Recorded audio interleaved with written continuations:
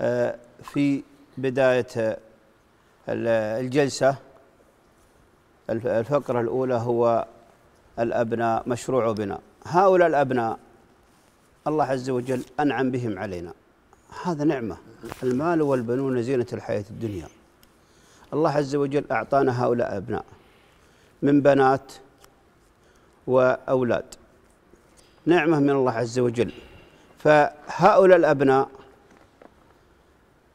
كيف الإنسان يعرف هذه النعمة ويحافظ على هذه النعمة وينشئ هذا النشأ نشأ صحيح وتربية صحيحة وكذلك على أسس صحيحة وكذلك أنت يا الأب قدوة لهم سلبا أو إيجابا.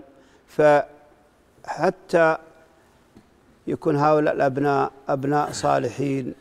قبلها نتوجه الله عز وجل بالدعاء لهم. فبداية نبدأ مع الدكتور سعيد ومحمد تفضل محمد. حياكم الله. الحمد لله والصلاة والسلام على رسول الله وعلى آله وصحبه وسلم تسليما كثيرا وبعد. قال الله جل وعلا ومن آياته خلق لكم من أنفسكم أزواجا لتسكنوا إليها وجعل بينكم مودة ورحمة.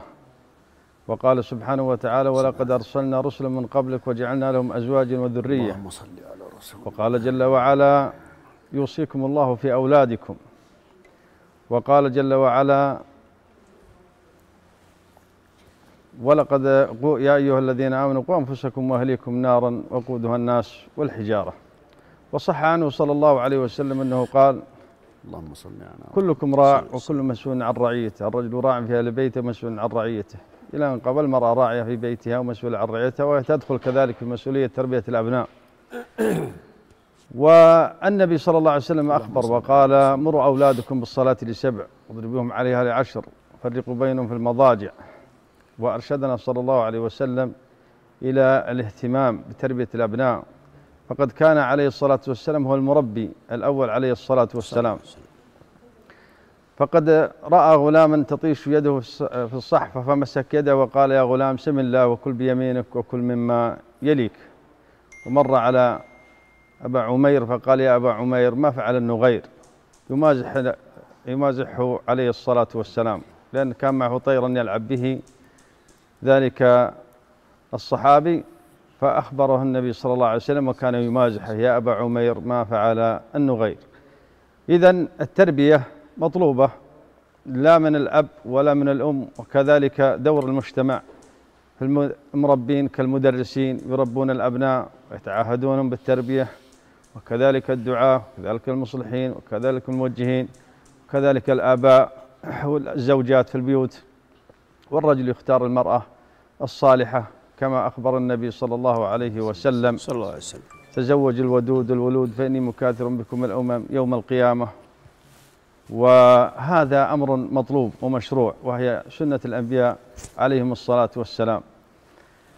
وعلى هذا ينبغي لنا أن نهتم بأولادنا فندعو لهم بدلا ندعو عليهم ونربيهم ونحسن التربية ومن لا يصلح السنة هذه يصلح السنة الجاية ومن لا يصلح في حياتك يصلح بعد موتك وتكون أملك بالله كبير في تربية الأبناء وفي الدعاء لهم وفي الصبر عليهم فإنهم قد تواجه في الحياة متاعب. حتى أن النبي صلى الله عليه وسلم أخبر قال من عال جاريتين حتى تبلغ كنت أنا وهو كهاتين في الجنة أو قال كانت تقال له من النار أو كما في الحديث عنه صلى الله عليه وسلم. إذا علينا أن نهتم في تربية الأبناء وندعو لهم بالصلاح ونعلمهم التعليم نعلمهم القرآن نعلمهم سنة النبي صلى الله عليه وسلم نعلمهم الذكر في حياتهم كيف يعيشون يرتبطون بالله جل وعلا. فإن من أعظم المشاريع لك في الحياة أن ينتج من صلبك أبناء يعبدون الله تبارك وتعالى ويدعون لك. ولهذا قال النبي صلى الله عليه وسلم إذا مات ابن آدم انقطع عمله إلا من ثلاث. وذكر منهم أو ولد صالح يدعو له. ولد صالح يدعو له. ولا يكون هذا الصلاح إلا بتربيته وتنشئته النشأة الصحيحة السليمة على كتاب الله وسنة نبيه صلى الله عليه وسلم وارتباطه بالله جل وعلا. لهذا قال لقمان لابن يا بني لا تشرك بالله إن الشرك لظلم عظيم. ثم في تلك الوصايا إلى آخر السورة يا بني إن أن تكون مثقال حبة من خردل فتكون في صخرة أو في السماوات والأرض يأتي بها الله.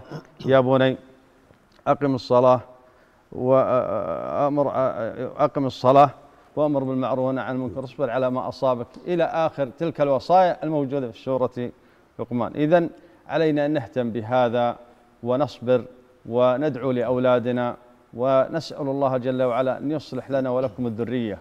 ولهذا قال الله جل وعلا في القرآن قال آه، أن المؤمنين يدعون ربنا آه، في قوله جل وعلا واجعل لنا من أزواجنا وذرياتنا قرة أعين واجعلنا للمتقين إماما. بعض الناس يغفلون عن كلمة واجعلنا للمتقين إماما. فلا بد أن تكون يعني قدوة لأبنائك وتكون كذلك في سيرة حسنة مع الأبناء. فإن الله جل وعلا لا يضيع عمله كان أبوهما صالحا. قيل أنه كان الجد السابع وقيل غير ذلك. نسأل الله جل وعلا أن يصلح لنا ولكم الذرية. يعيننا جميعا على ذكره وعلى شكره وعلى حسن عبادته. أبو فيصل. بسم الله والصلاة والسلام على رسول الله. شكر الله للدكتور سعيد بيض الله وجهه على الكلام الجميل اللي تكلم فيه واستشهاده بالأدلة ما شاء الله عليه. لا شك أن التربية موضوعها موضوع مهم وعظيم. والله سبحانه وتعالى يقول وما رميت إذ رميت ولكن الله رمى. فكل شيء بتوفيق الله سبحانه وتعالى حتى لو اجتهدنا. ولو أخلصنا ولو قدمنا ما قدمنا. إذا لم يكتب الله التوفيق لن نطلع بنتيجة. كم من أبناء طلع ما شاء الله أتقياء مهذبين مؤدبين رغم أن آبائهم غير ذلك. وكم من آباء مؤدبين مهذبين طلعوا أبنائهم غير ذلك. فكثير إحنا عرفناها وعايشنا في المجتمع. بعض الآباء جزاه الله خير والله إنه اللي يقول على قد حالهم وش اموره لكن توفيق بالله سبحانه وتعالى ثم بالوالده بالأم التي تابعت أبنائها أعطتهم جل الاهتمام والتعليم وتفوقهم وأخذوا مزايا لا يمكن أحد يشعر فيها. وهي جانب استثنائي ربما أخذ حقه من الإشادة والشكر. هذه الأم دور الأم ودور البيت وقاعدة البيت الأساسية. طبعا الاب مشغول في الحياة مشغول بالاهتمامات مشغول بتوفير المال. فدائما آه، إذا أردت أن الله يوفقك في أبنائك أول شيء أن تخلص النية لله سبحانه وتعالى. فلا تقول لابنك تبيه يصير قدوة وأنت آه، ما توفي بالوعود أمامه. ولا تنصح بالصلاة وأنت مقصر. ولا تنصح بعدم التدخين وأنت تدخن. ولا تنصح بصلة الرحم وأنت قاطع للرحم؟ قدوة حسنة. وش بيطلع الابن إذا أرى أبيه وقدوته في هذه الأمثال. ربما هو يتبع أبوه. أكثر الأبناء يتبع أبيه. صحيح. لا شافك بهذا المنظر. فهو الله أن يستعيبها حتى عليه يمونك توجه فيها وأنت غير مطبقها. فإذا أردت الإبن أخلص النية لله سبحانه وتعالى وطبق الواقع اللي أنت تريد من ابنك على نفسك. فحريا إن ابنك يقتدي فيك اقتداء أمثل بإذن الله تعالى فنسأل الله عز وجل أن يجعلنا وإياكم إن شاء الله دائما من الموفقين لتربية أبنائنا وكل من يعمل الخير فينا وكل من نقدم له الخير. ما شاء الله. جزاك الله خير يقول وينشي ناشي الفتيان فينا على ما كان عوده أبوه. نعم. أبو محمد. بسم الله والصلاة والسلام على رسول الله جزا الله خير المشايخ والأخوان على ما قالاه حقيقة موضوع الأبناء مشروع وبناء موضوع حيوي وكبير والواحد صراحة يستحي يتكلم فيه بوجود القامات مثل الدكاترة اللي يعني البضاعة تقل بالنسبة لما لديكم صراحة ولكن نحن نرمي دلو لكنها الرشاف مو بقوي ترى وكم من التربويين في نعم أي نعم مدارس. اليوم كذلك أبو محمد كذلك كان تربوي في المدارس ما شاء الله نعم. مبين عليهم ما شاء الله نعم. ولا ولا هون أبو فيصل لا آه تربية الأبناء آه كمشروع يبدأ من متى وينتهي متى؟ متى يبدأ هذا المشروع؟ طبعا كل مشروع قبل لا يبدأ لابد انه يتم لها التخطيط ويتم لها العمل ويتم لها خطة عمل هذا في المشاريع العادية في صحيح. الحياة آه، فما بالك في أهم المشاريع أو في أهم الأمور في حياتك اللي هو وجود الأبناء؟ الأبناء ليش هذا نسوي لهم المشروع أساسا؟ وش بيكونون الأبناء؟ هذول هم اللي بيخدمون الوطن بيحمون الوطن هم اللي بي- بيحملون الرسالة للأمة هم اللي بيدعون إلى الله هم اللي بيبنون هم اللي آه، بي- يبنون بهالبلد لين يقولون بس. نعم. يبدأ هذا المشروع من قبل الزواج. يبدأ من نفس الإنسان. تخطيط مستقبلي. مخط... ما إيه أنت تبي تسوي لك مشروع وش تسوي؟ تخطط. مثلا تبي تشتغل نجار ولا حداد وش بتسوي؟ تتعلم الحدادة تتعلم النجارة. تبدأ بنفسك أيها الإنسان أيها الأب. تبدأ بنفسك تشوف وش هل أنت مؤهل للمشروع ولا لا؟ مؤهل جسديا نفسيا اجتماعيا. تكمل نفسك. ثاني شيء المكان اللي بتبدأ منها المشروع اللي هو الزوجة. نعم. وأهل الزوجة. يجب أنه يختار للمشروع هذا ال الإنسان اللي قادر معك إنه يبدأ في هذا المشروع. البيئة المناسبة. البيئة المناسبة. نعم. بعد ما تحصل البيئة ويبدأ المشروع يأتونك الأطفال. الأطفال ذولا إلى منهم جو. يبدون في مراحل. أول شيء يبدأ ب- بي- بيبدأ بتتابعه من يوم إنه حمل في بطن أمه. ترى بتجع بمستشفيات وبتحلل واحيانا ترى يقولون المستشفى هذا فيه كروموسومات ناقصه كروموسومات زايدة و- وإنه يبي له علاج وهذا وتتابع ثاني شيء عقب الولادة وهو طفل في المهاد. هذه عناية. وهو طفل إلى سبع سنوات. هذه عناية. من سبع إلى تقريبا 14 سنة أو 18 سنة هذه عناية خاصة. إلى منه صار شاب إلى منه صار رجل إلى منه صار كبير إلى فترة الموت. لا منك صرت شايب فترة الموت. ترى يبي لك عناية. وش الدليل؟ نعم. الدليل قوله تعالى أم كنتم شهداء؟ إذ حضر يعقوب الموت إذ قال لأبنائه ما تعبدون من بعدي؟ لبنيه. لبنيه. ما تعبدون من بعدي؟ قالوا نعبد إلهك وإله ابنك. شوف وهو على فراش الموت. يعقوب عنده 12 يوصيهم. طفل وهو رسول وهو نبي طول السنين يعلمهم إلا أنه يرسخ فيهم أول درس يعلم إياهم عند الموت. ما تعبدون من بعدي؟ قالوا إلهك وإله أباك فهذا المشروع ممتد ولذلك يبي له جهد. ويعني أعجبني أحد ال- الباحثين يعني في التربية يقول آه، تزوجت وأنا أحمل في رأسي ست نظريات يقول بعد ما جاني الأبناء يقول وأنا لم يكن لدي أبناء ست نظريات ولم يكن لدي أبناء ولما جاءني ستة أبناء لم يعد لدي نظريات, نظريات. يعني الواقع أحيانا. بيختلف عما تدرسه وعما تتعلمه نعم. هذه مقدمة أدخل فيها بالموضوع ولعلنا نستكمل إلى جانا الدور مرة ثانية. جزاك الله خير. أبو عبد الله يتحفنا بما لديه. أبو عبد الله. سم أسعد الله صباحكم جميعا بكل خير. صباح. الله الموضوع هذا آه، موضوع ذو أهمية كبيرة في تربية الأبناء. ل- كما تحدثت وكما قلتم لأن الأبناء هم عماد الأمة وهم آه، يتحدثون آه، أو يمثلون آباءهم في الحاضر وفي المستقبل.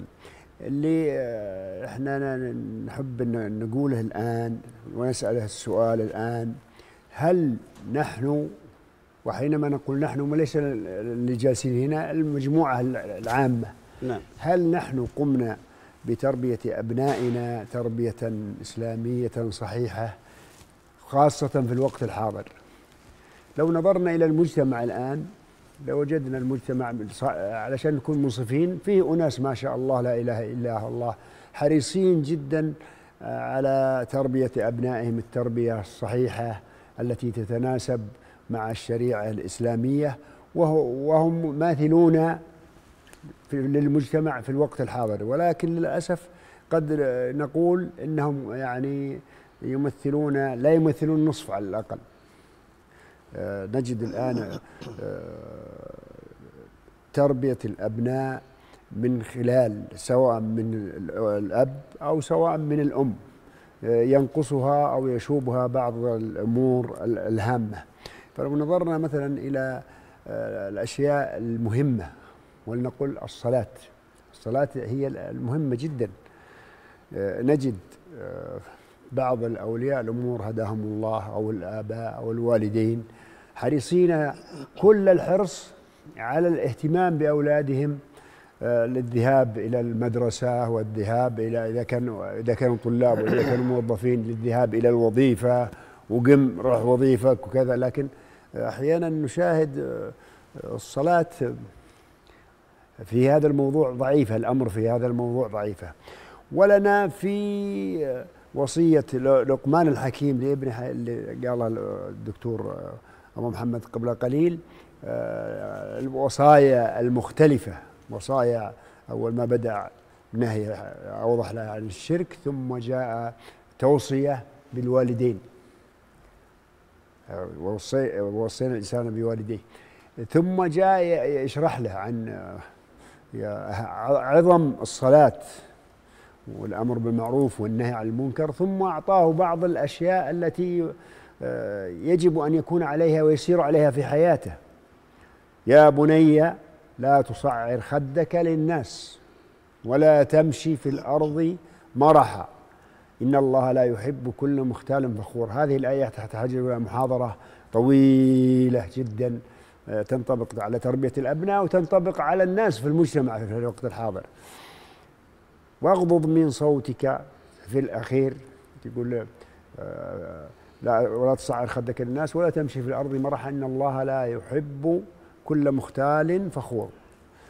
آه، وصايا مجموعة وصايا من لقمان الحكيم لابنه وليست خاصة لابنه هو إنما هي آه، للمجتمع كله.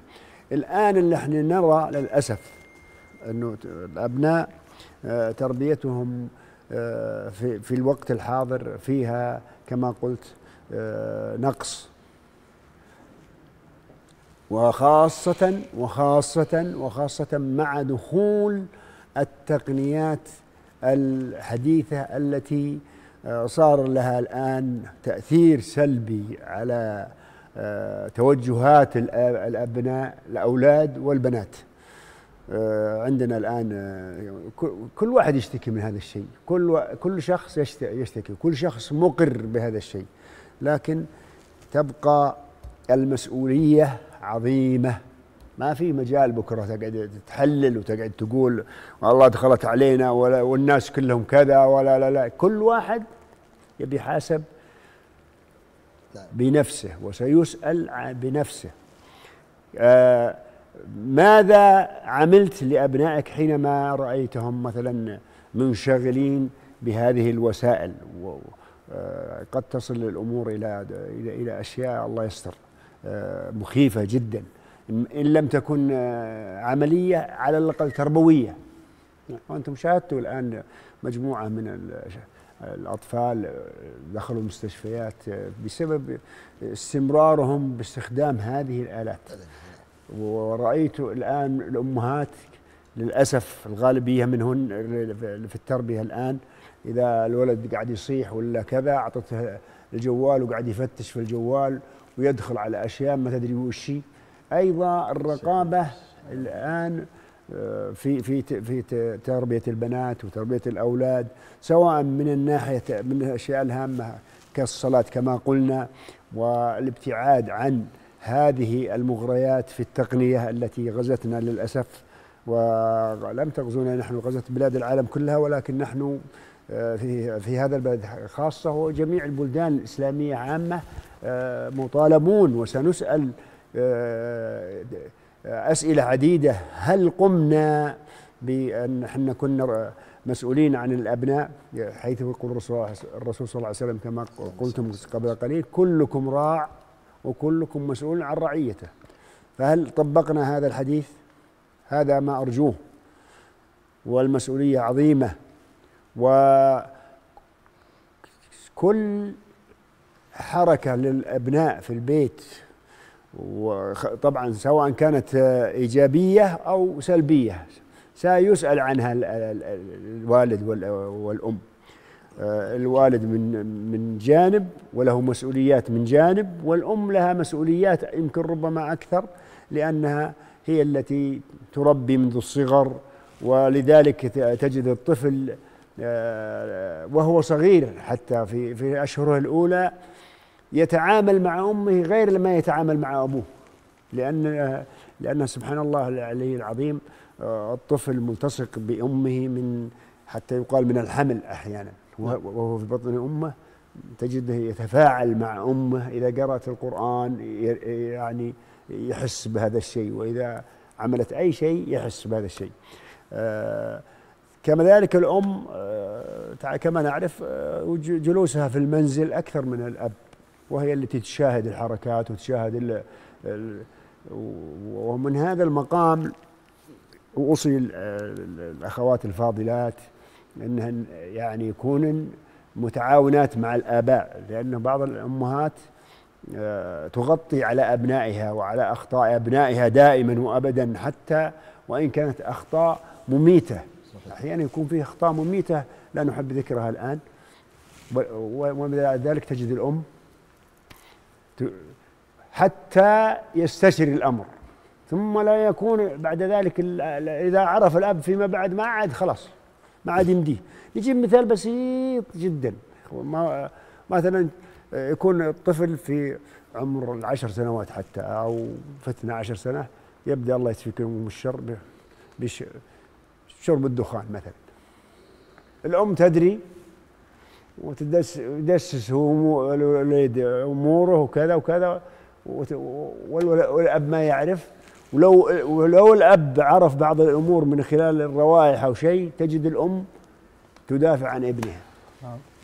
يعني مشكلة هذه والله مشكلة. يجب نحن ان نكون نحن الوالدين الأب والأم متعاونين متكاتفين في مصلحة أبنائنا.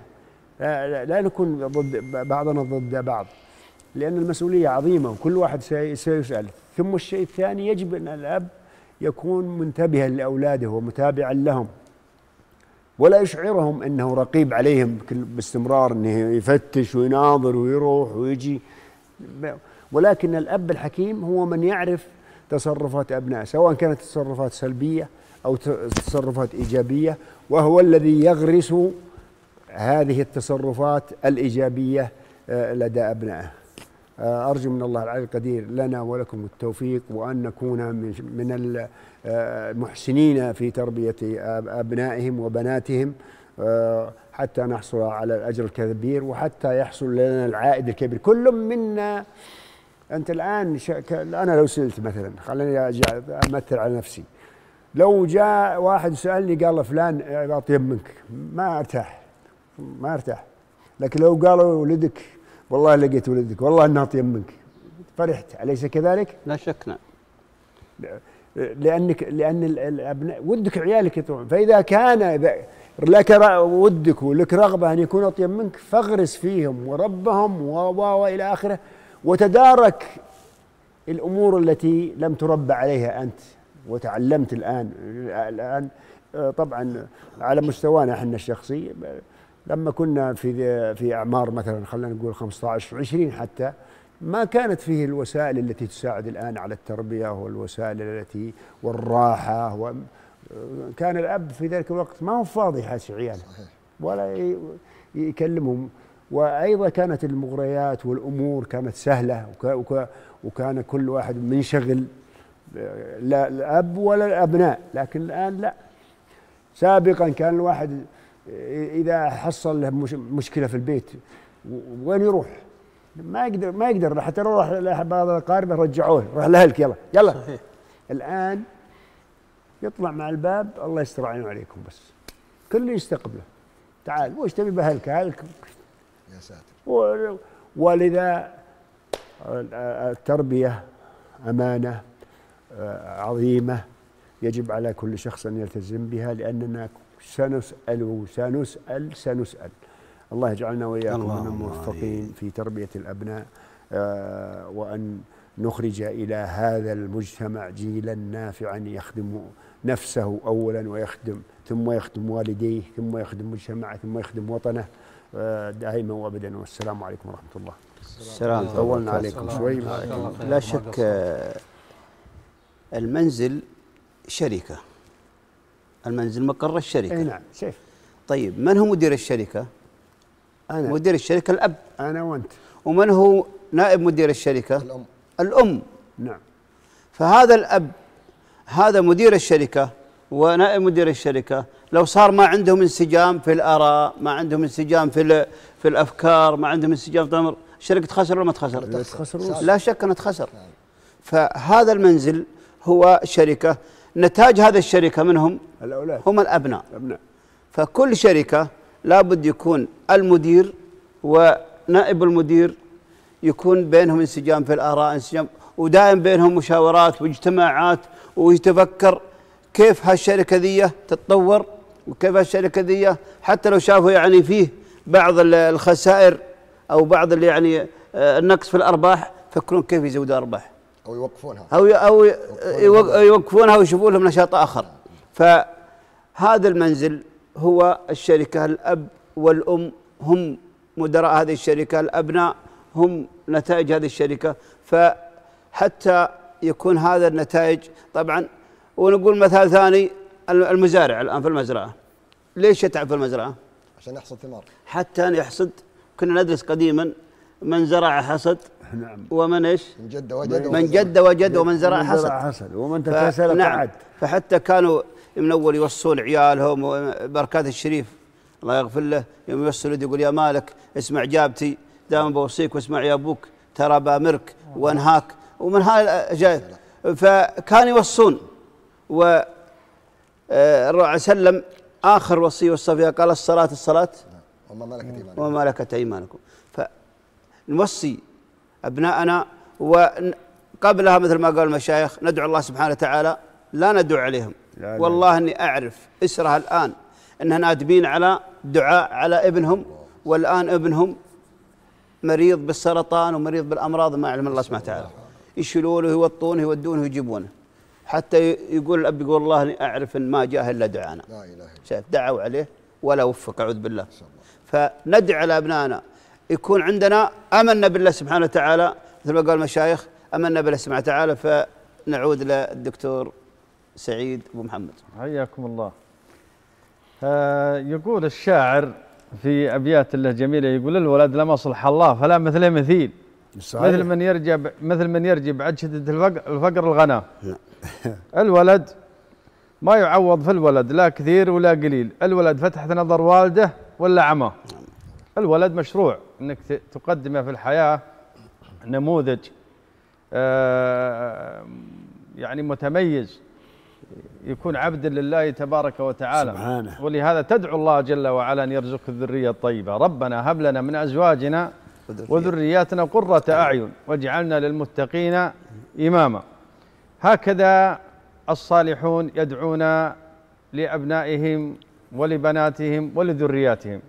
ولهذا قال النبي صلى الله عليه وسلم لا تدعوا على على أولادكم محمد. ولا تدعوا على أنفسكم ولا تدعوا على أموالكم. إن توافقوا ساعة من الله يسأل فيها شيء إلا أعطاه. فنهانا عن الدعاء على أبنائنا. والمطلوب بالعكس أن ندعو لهم. ندعو لأنفسنا وندعو لأولادنا. وهذا أمر مطلوب لكن الكثير نسأل الله العفو والعافية يدعو على أبنائه. والأبناء مشروع. مشروع جميل جدا. نوح عليه الصلاة والسلام يقول يا بني يا بني اركب معنا. يا بني كان ينادي ابنه وهو نوح عليه الصلاة والسلام. بلطف بلطف. يا بني يا بني يا بني. قال سآوي إلى جبل يعصمني من الماء. قال لا عاصم اليوم من أمر الله إلا من رحم. وحال بينهم الموج فكان المغرقين. إذا كان يدعو ابنه إلى آخر لحظة وهو يدعوه وكذلك الصالحون يدعون أبنائهم بالدعوة الطيبة ويدعون لهم ولا ييأسون من آه، أن يصلحهم الله جل وعلا. حتى ولو صار عندهم بعض الأخطاء ولو صار عندهم بعض التقصير لكن آه، كل ما ربوهم على توحيد الله على ذكر الله أغرس فيه مراقبة الله أغرس في قلبه توحيد الله أغرس في قلبه آه، معرفة الله جل وعلا. تعلم القرآن تعلم السنة تعلم المبادئ الطيبة القيم الجميلة المبادئ الصحيحة. حتى لا ينجرف لأن الشبهات ستكثر في آخر الزمان. فتن كقطع المظلم الأجهزة الآن التي في أيدي الأولاد يدعونهم للشبهات يدعونهم للشكوك في توحيد الله في آه، البدع في الخرافات في الزعبلات. فلما تربيهم تربية طيبة تعلمهم العقيدة الصحيحة تعلمهم طاعة الله تعلمهم الصح من الخطأ تعلمهم البعد عن المخدرات تعلمهم البعد عن رفقاء السوء جلساء السوء وعليك بمجالسة الصالحين الطيبين الناصحين الكذا. تعلم أبنائك هذا هذا تعليم طيب وهذه تربية طيبة. ولهذا يعني اهتمام كثير من الناس يهتم بتربية ابنة التربية يعني البدنية. فيعطيه الطعام يعطيه الشراب يعطيه السيارة يعطيه كذا. لكن خالي هو من جوا من التربية الغذاء الروحي الغذاء الإيماني الغذاء يعني يموت هذا الإبن وهو يموت. وهو يعني جايع عاري آه، ليس عنده شيء من الدنيا. ليست مشكلة إذا كان معه إيمان مع طاعة لله تبارك وتعالى مع الرصيد الإيماني. مصيره إلى الجنة بإذن الله جل والذين آمنوا اتبعتهم ذريتهم بإيمان ألحقنا بهم ذريتهم وما ألتنا من عمل من شيء. لكن يوم أن يموت وهو منعم وشابع وآكل وشارب وكل شيء لكن ليس عنده إيمان مصيره إلى النار. وستحاسب أنت عنه؟ المسألة خطيرة جدا. وأنفسكم وأهليكم نارا وقودها الناس والحجارة. يقول أحد الشعراء كان يربي ابنه سعد يقول ميار يا سعد ميار من سوى البلا لما نصاك. أنا بوصيك إلى ما عد تعود صبني لما جاء صباك. وأنا بوصيك في حب الرفيج الرفيج لما طلبته قالك. يقول مجارا يا لبدان مجار من سوى البلا لما نصاك أنا بوصيك إلى ما عد تعود صبني لما جاء صباك. يعني يقول أنا إذا صرت كبير في السن يا ولدي نعم. يعني اهتم فيه وأنا بوصيك في بيحب الرفيج. رفيجي لما طلبته قال هاك. وأنا بوصيك في ضم الحلال ريح العطر إلى ما هبجاك وأنا بوصيك من صفة الرخوم. ذب يا ولدي الريع وراك. يقول لا تصافي الناس تعبانين. وأنا بوصيك من صفة الحريم. من صفة الحريم جاب الشكاك. يقول لا تمشي في الطرق الشينة. وأنا بوصيك المهم استمر يوصي في هذه الأشياء وصايا. هكذا يعني الناس الكبار في السن في العصر السابق. فما بالك الآن في الوسائل الحديثة والانجراف المتعدد المنتشر الموجه إلى أبناء المسلمين. كلها يعني غزو يوجه إلى أبنائنا ليأخذهم عن حظيرة الإيمان عن المسجد عن القرآن عن الطاعة عن كذا. إذا ننتبه لأبنائنا ننتبه لبناتنا ننتبه لأهالينا فإن سوف نسال عنهم يوم القيامة. ندعو الله جل وعلا أن يصلح لنا ولهم يصلح لنا ولكم الذرية وليجعلنا وإياكم هداة مهتدين.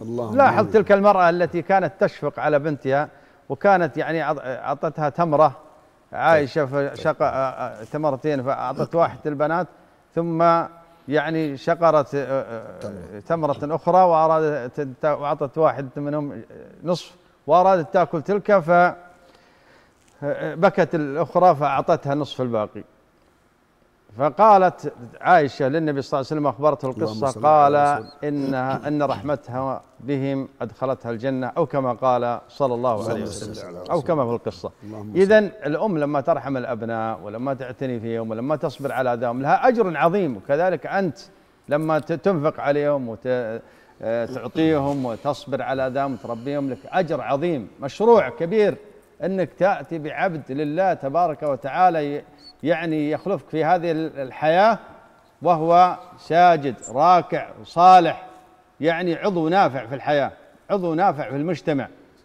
يعني الشاب الصالح الذي تنتجه أنت هذا مشروع كبير. يعني المرور يرتاح ما عنده مخالفات هذا إنسان يمشي سيده. البلدية ترتاح ما عنده كل يوم حادث في أعمدة الكهرباء والمشاكل والأرصفة الشرطة ترتاح المخدرات قسم المخدرات يرتاحون السجون يرتاح كل المجتمع مرتاح من شر هذا الابن لكن لما يجي هذا الابن الشر فإنه يسبب عليك الشرور وعلى المجتمع ويكون عبئا على المجتمع. إذا نتقي الله جل وعلا ونربي أولادنا ونهتم في هذا فهي من أعظم المشاريع أن نقدم في الحياة أبناء صالحين أو بنات صالحات. حافظات للغيب بما حفظ الله ذرية صالحة. نسأل الله جل وعلا أن يعيننا وإياكم على ذكره وعلى شكره وعلى حسن عبادته وأن يرزقنا الذرية الصالحة. ربي أن أسكنتم ذريتي بواد غير ذي زرع عند بيتك المحرم ربنا ليقيموا الصلاة. فأبنائك مرهم بالصلاة وأمر أهلك بالصلاة واصطبر عليها. لا نسألك رزقا نحن نرزقك والعاقبة للتقوى. الرزق من الله جل وعلا لكن مر أهلك بالصلاة مرهم بالتوحيد ربهم على طاعة الله. يا بني إنه لا ينفع إلا الله لا يضر إلا الله لا يقدم لا يحيي لا يشفي إلا الله جل وعلا. تعلمه الفاتحة التي يقرأ بها في صلواته. طول الحياة لك أجر في هذا عظيم. ولا أحب أن أستأثر بالوقت. أسأل الله جل وعلا أن يصلح لنا ولكم الذرية. آمين آمين. جزاك الله خير. جزاك الله الله خير. عندنا رسالة من الكويت من الصديق حقيقة والمتابع الدائم أبو مشعل. نعم. آه، فيقول السلام عليكم ورحمة الله وبركاته. السلام عليكم. أخ أبو رايد سلامي للشخص الكريم والدكتور صلاح الحمد والحضور الكريم. حفظ الله المملكة ولي عهده والشعب السعودي والله يرحم شهداء الوطن والدين. آمين يا رب العالمين. آمين. أهم ما تتطرق له وهو تربية الأبناء. وإذا أردنا أن نعلم أو نعلم السلام الحقيقي في هذا العالم علينا أن نبدأ بأطفالنا. إن حب الأولاد ليس نابغا من كونهم أبناء. وإنما منشأه صداقة التربية. أحببت أولادك بقلبك أحبب أولادك بقلبك وأدبهم بيدك. كل ابنك معلما وهو طفل وصديقا حين يكبر. أخوكم نايف العنزي أبو مشعل من الكويت نشكر لك.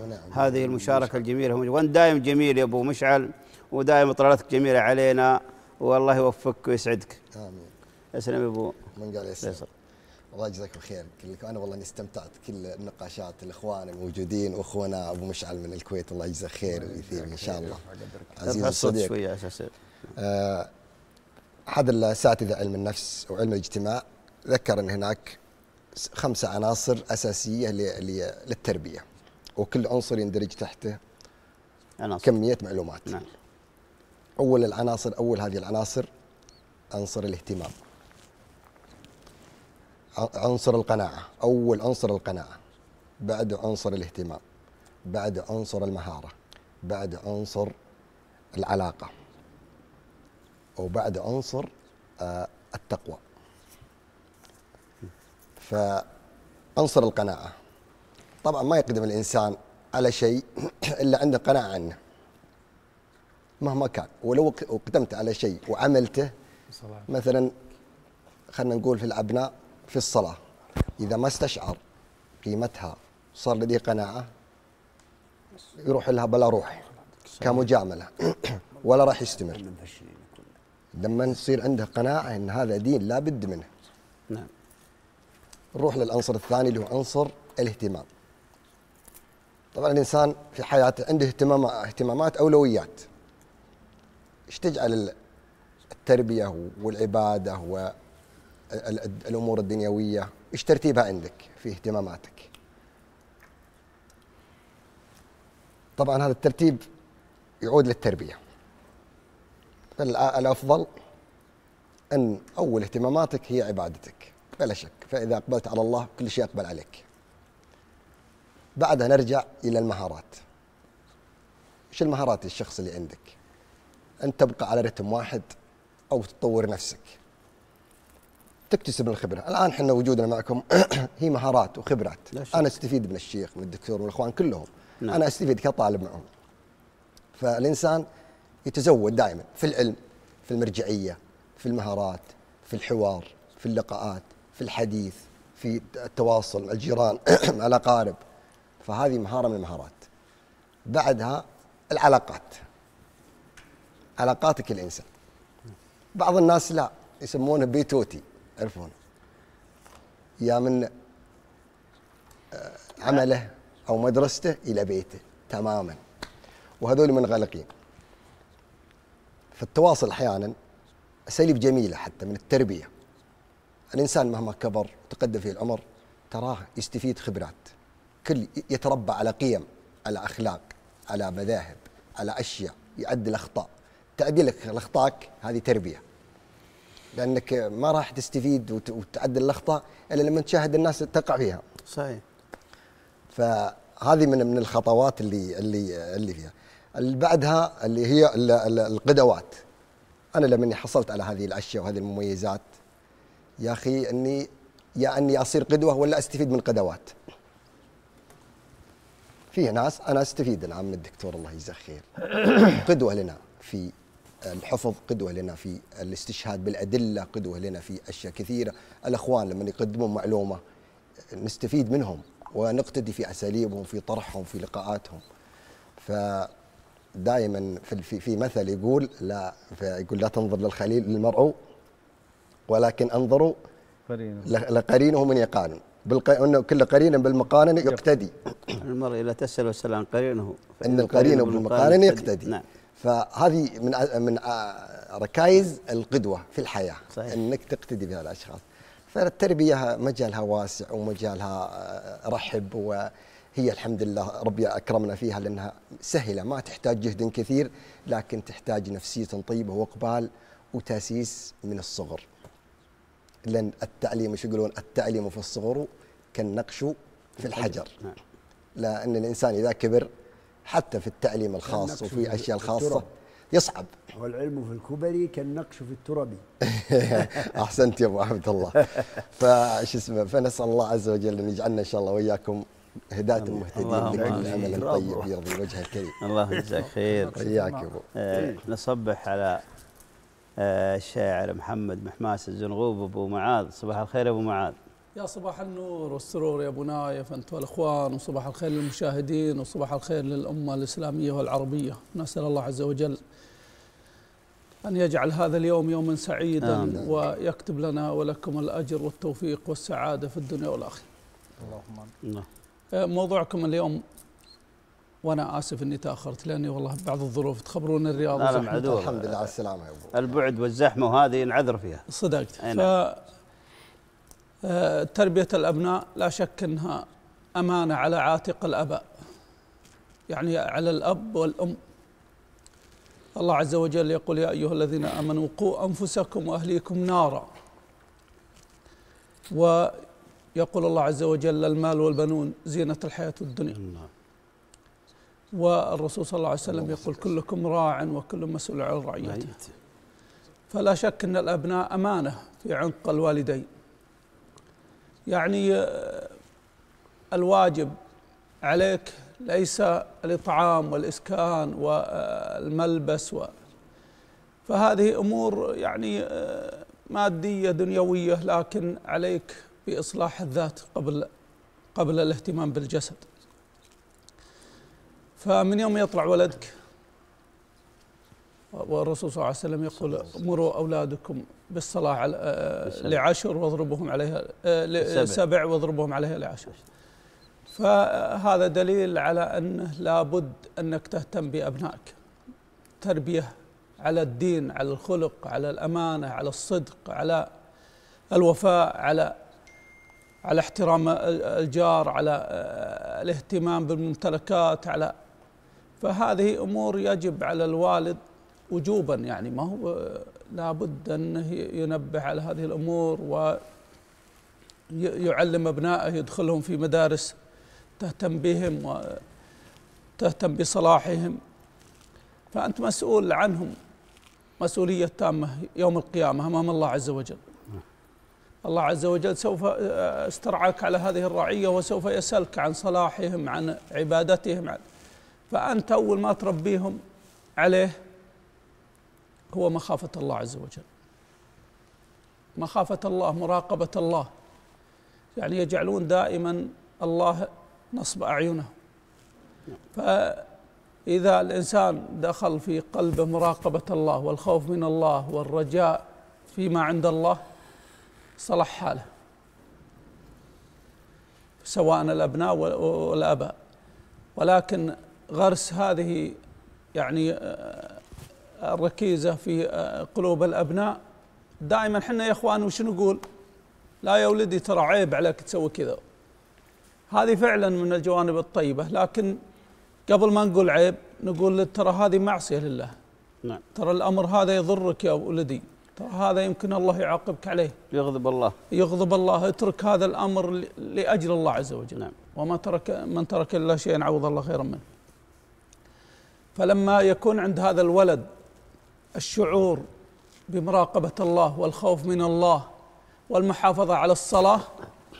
فمثل ما ذكر الدكتور لن تجد عنده يعني بعض الأمور السلبية من التفحيط ومن آه، يعني أذى المسلمين أو الإفساد في الأرض لأنه راقب الله عز وجل ثم احترم دولته واحترم المجتمع اللي يعيش فيه. فيجب علينا يا إخواني أن نربي ويعني الكلام لنا وللمشاهدين كلنا آباء سواء المشاهدين أو إحنا الملقين. يجب علينا أن نهتم بجانب الجانب الروحي للإبن. ذكروا أن هارون الرشيد له أربعة أبناء.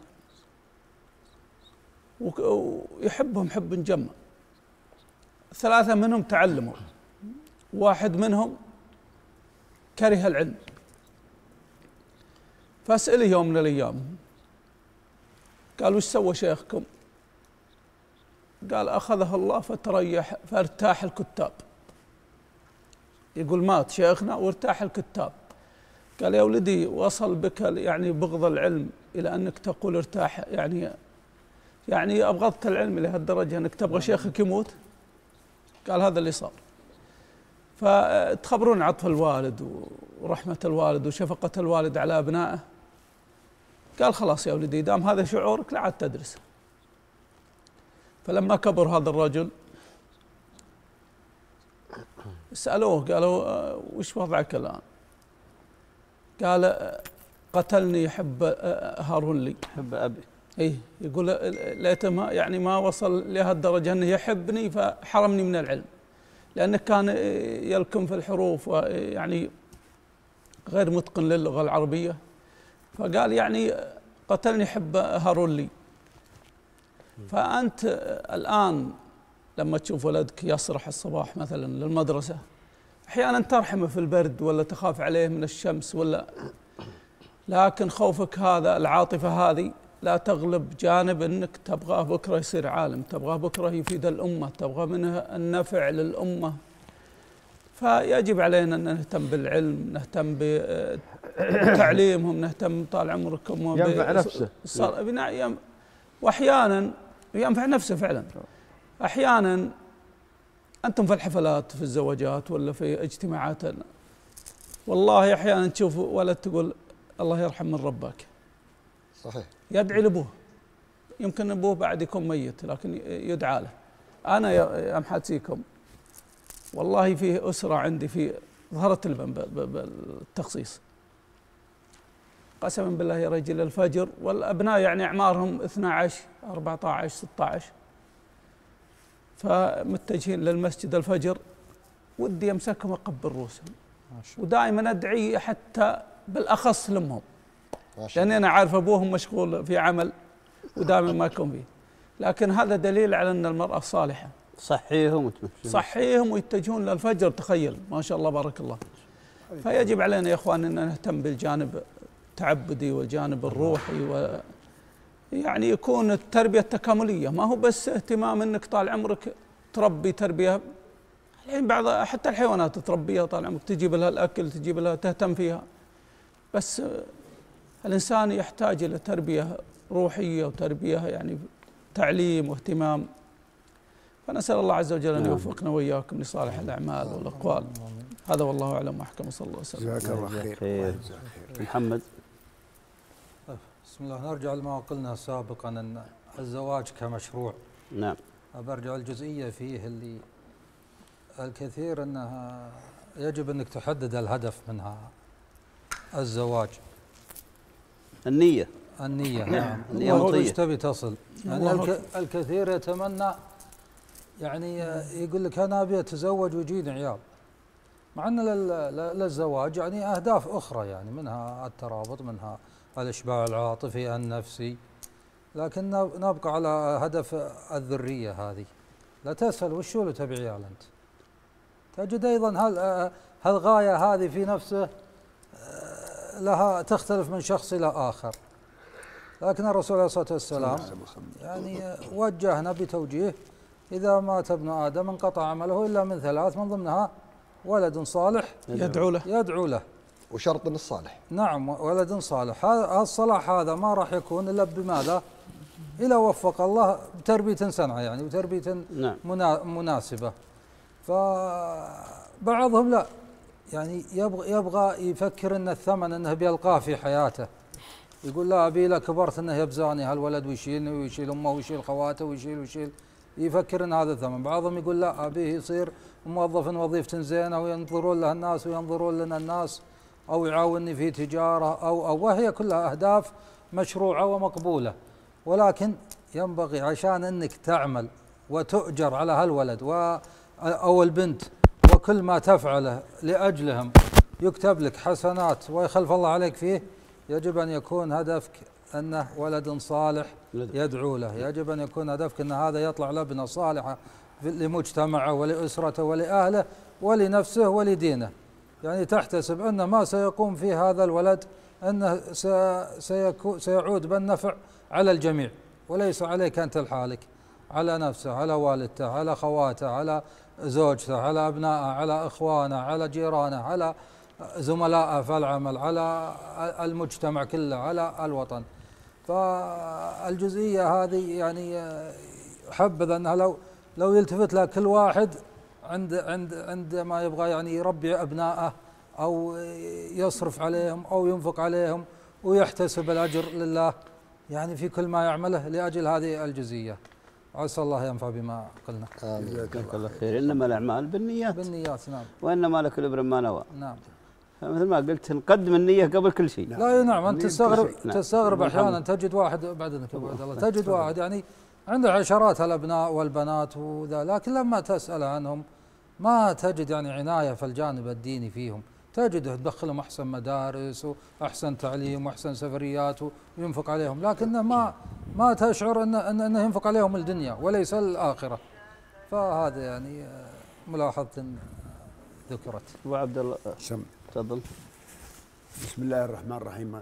آه، أنتم تحدثتوا كثيرا عن هذا الموضوع وأشبعتموه وهو الحقي- الحقيقة موضوع حساس وهو من ركائز الأمة. أنا بتحدث الآن عن التجارب بعض التجارب التي مررت بها وهي لها علاقة مهمة بالتربية.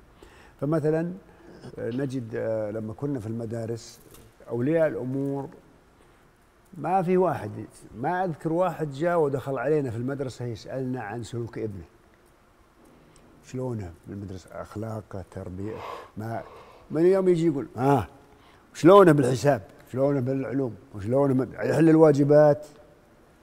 عساه وين المدرس الفلاني؟ أبي يجي أناقشه عن مستواه. تعليم بس. تعليم. نعم. ما في واحد جاء وسأل عن تربية الابن وعن سلوكه في المدرسة لأن المدرسة المدرسة هي البيئة الثانية بعد. البيت للتربية.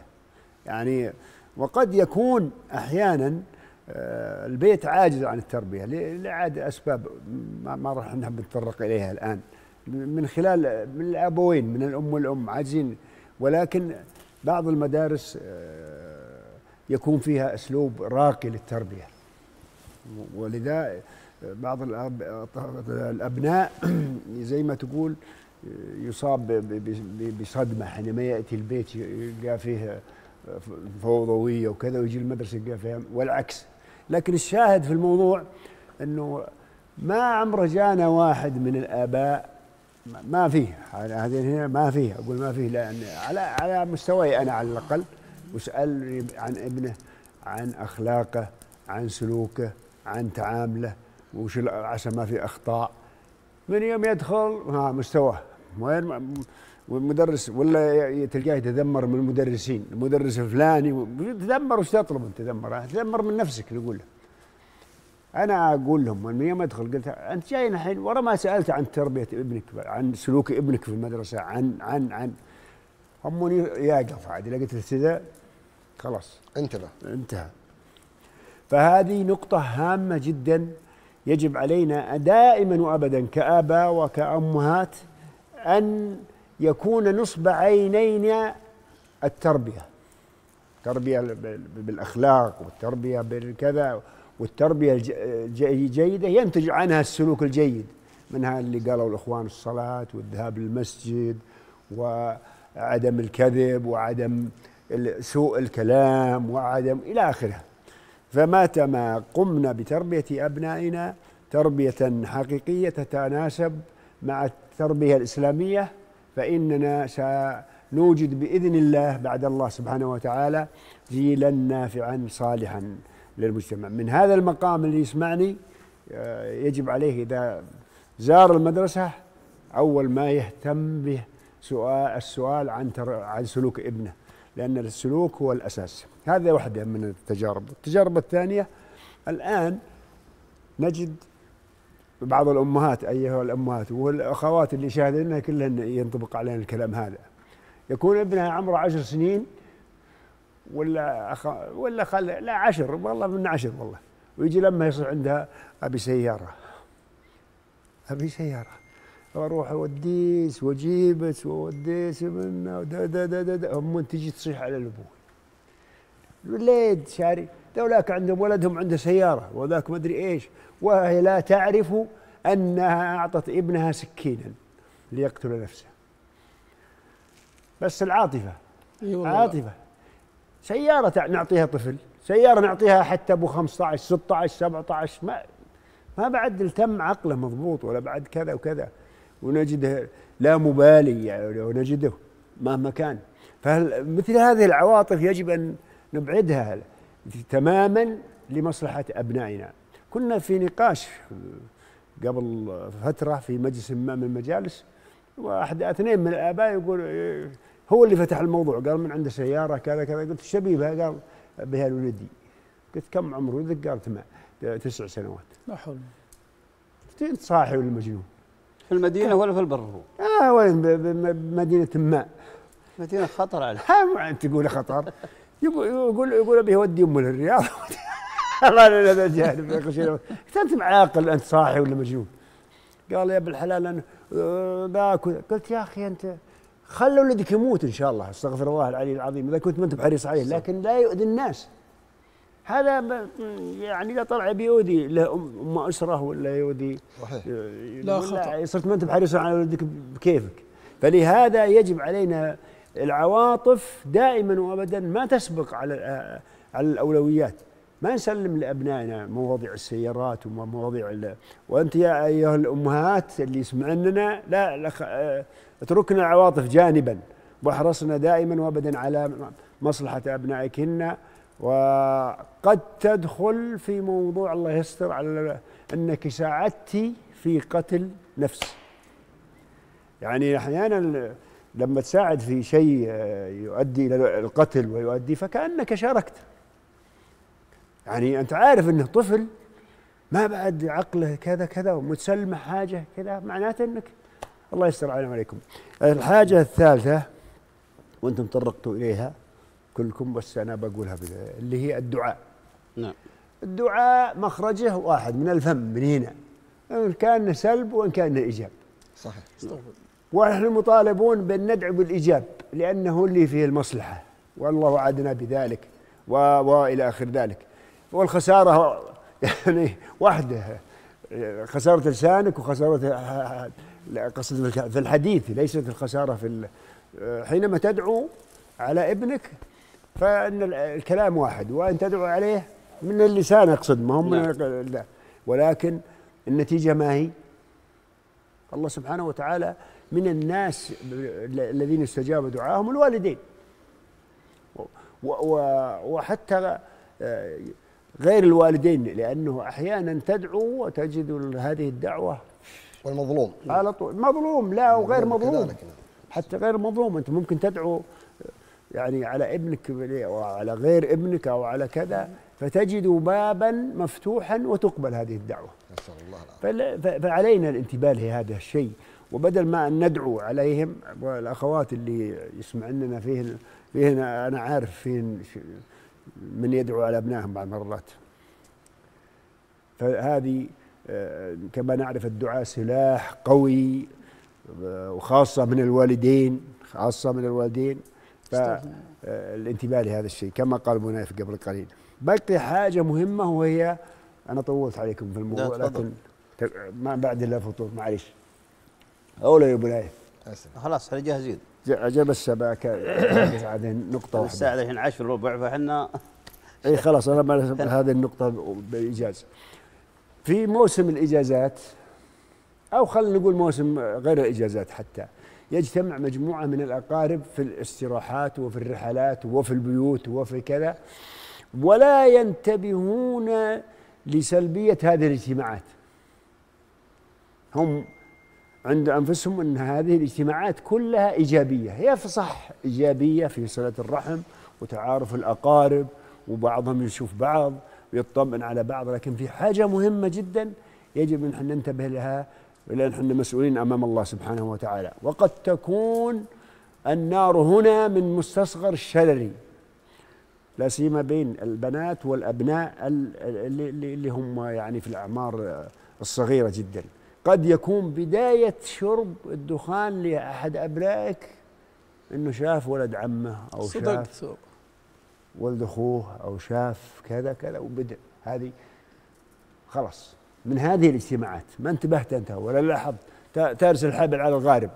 البنات أيضا لما يجلسن البنات ما هو كلهم سلوكهم واحد. كل واحدة لها سلوك كل واحدة لها آراء ولها شطحات يجب إحنا ننتبه لهذه النق- النقاط ولا سيما في الإجازة الطويلة ما تسمى الإجازة الطويلة حيث تكثر الاجتماعات والزواجات وال وال وال يجب إحنا ننتبه. الأم تنتبه لبناتها والأب ينتبه لأولاده في مثل هذه الأشياء لا أحب الإطالة عشان الفطور بس جزاكم الله عندي خير. عندي سؤال نذكر بس. حديث الرسول صلى الله عليه وسلم في اللهم صل على حديث. جابر رضي الله عنه يقول الرسول صلى الله عليه وسلم لا تدعوا على أنفسكم ولا على أولادكم ولا تدعوا على أموالكم توافقوا من الله ساعة يسأل فيها عطاء فيستجيب لكم. نعم رواه مسلم فلا ندعي على أبنائنا ولا على أموالنا ولا على على أهلنا فنقول تفضلوا سؤال بس. للدكتور قبل. طيب. آه، بعد دخول التقنية نحمد الله والنعمة اللي إحنا فيها والتواصل الاجتماعي ليلا ونهارا. يعني كم نسبة تأثير الأسرة في, في الأبناء؟ والمدرسة كم تأثيرها؟ الآن؟ إيه تقريبا يعني. والله حسب على حسب على حسب ولكنها ضعيفة جدا. في مجال لا, لا, لا سيما الأسرة الآن. الموضوع ده ما هذا هذا ما عاد ينتبهوا لها أبد. ولا ولا كان عندهم شيء. أنا أقصد ما عنده شيء مثلا مع أبنائك. ما عمرك يعني آه، على الأقل تحسي عن المضار والأشياء اللي فيه يعني يتعلمون الجوال قبل ما يتعلمون آه. مثلا يعني. تخلي عندهم الآيباد والمدري كل شيء عندهم. يعني ما ودي أنت تفضل عاد. لكن نسأل الله أن يصلح. اللهم ما لنا. إلا للدعاء نعم. ونامل. ما إن شاء الدعاء الله والله خير. بالخير. يا ابنائنا الدعاء. الله يجزاك خير. تفضلوا يهدي الدعاء. التقنية سلاح ذو حدين وعملنا في الله كبير. تفضل إي والله. أي نعم. إي والله خل عندك ثقة بالله. والأبناء يتبعون الآباء بإذن الله والذرية والمجتمع إن شاء الله. مرحبا. اللهم مرحبا. امين